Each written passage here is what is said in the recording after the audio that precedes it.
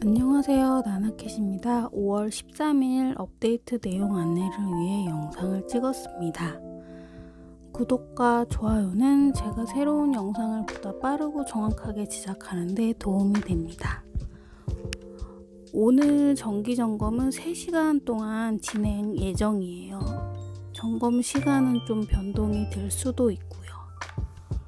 어, 주요 업데이트로는 악마 사냥꾼 스콧의 리메이크, 신규 전용 장비 추가, 신규 진형 추가, 새로운 엘레나의 시련 추가, 그리고 스페셜 출석 이벤트랑 지도 소모 스페셜 이벤트가 추가될 예정이에요.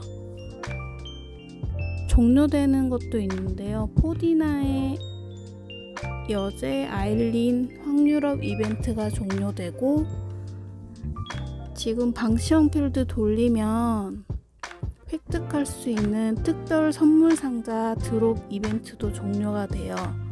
이벤트는 종료가 되는데 제작을 할 수 있는 거는 다음 주 5월 20일까지여서 전부 다 사용하지 마시고 다음 주에 제작할 것도 예상을 해서 좀 남겨두시는 게 좋아요. 뭐 문스톤이나 전설 영원석 파편 등도 다음 주에 또 제작을 할 수 있으니까요.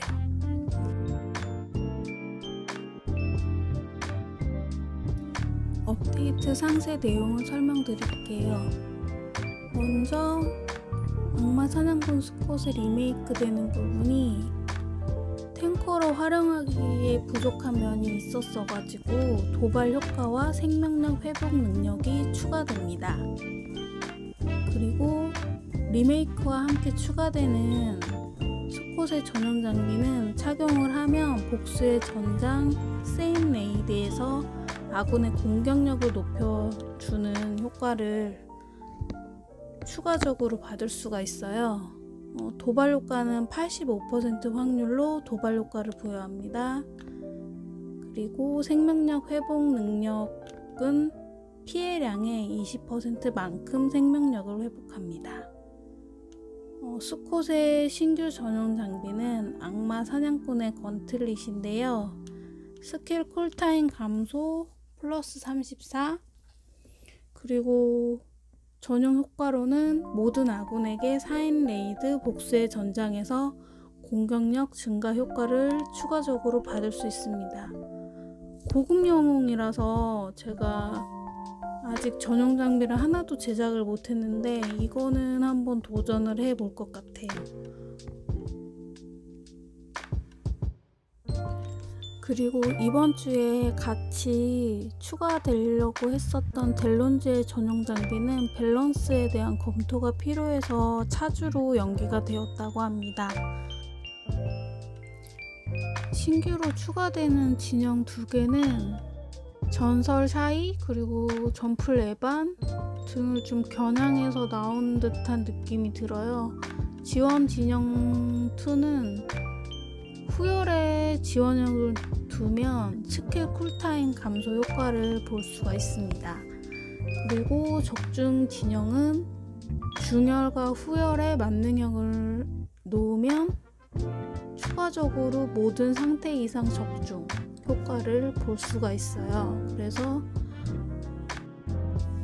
내가 사용하려고 하는 영웅과 영웅의 능력을 올려줄 수 있는 진영을 선택하여 이용하시면 좋을 것 같습니다. 각 진영은 골드 20만 골드로 습득이 가능해요.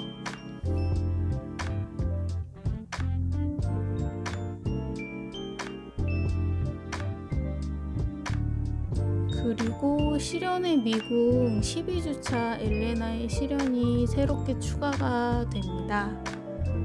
약 일주일 정도 진행이 되고요. 총 30스테이지로 이루어져 있으며 지도 소모량은 층마다 다르게 되어 있는데 한번 클리어한 곳은 지도 소모 없이 다시 도전이 가능합니다. 보상들이 문스톤이나 뭐 각종 입장 티켓 그리고 특수 강화석, 희귀 엘릭서, 뭐 전설 장비 제작 재료 선택권, 잊혀진 기억 조각, 소탕 충전권 이런 것들을 줘서 필요하신 분들은 실현의 미궁을 도전하시는 것도 좋을 것 같아요. 저는 실현의 미궁은 좀 안 하고 있어가지고 지도가 모자라가지고 못하고 있습니다. 그리고 신규 확률업으로 아킬라가 추가가 되었습니다.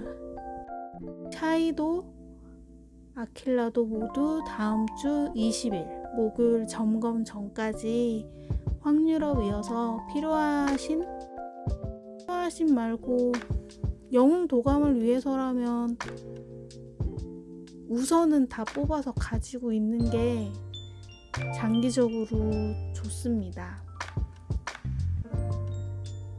그리고 스페셜 출석 이벤트도 5월 13일 목요일 점검 후부터 5월 27일 목요일 점검 전까지 출석만 해도 보상을 받을 수 있는 이벤트가 진행되고요. 목요일 점검부터 일주일 동안 방치형 필드 지도 소모 이벤트도 추가됩니다.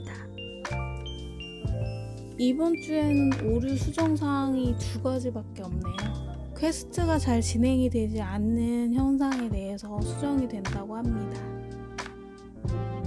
그리고 포일린 확률업이 종료가 되고 어린이날 특별 선물 상자 드롭 방치형 필드 이벤트가 종료가 됩니다. 점검 시간은 더 빨리 끝날 수도 있고 조금 더 길어질 수도 있으니까요. 어, 이 부분은 보고 계시고 오늘도 평안한 하루 되세요. 또 만나요. 안녕.